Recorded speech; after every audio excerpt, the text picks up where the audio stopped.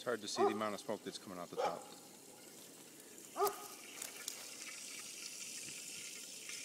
Oh.